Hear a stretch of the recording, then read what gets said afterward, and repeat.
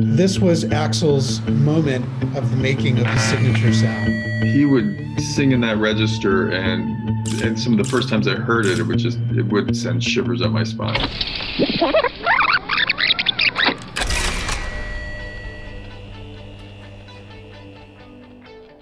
the first thing that we did was as just as us three, we didn't even have a rhythm section.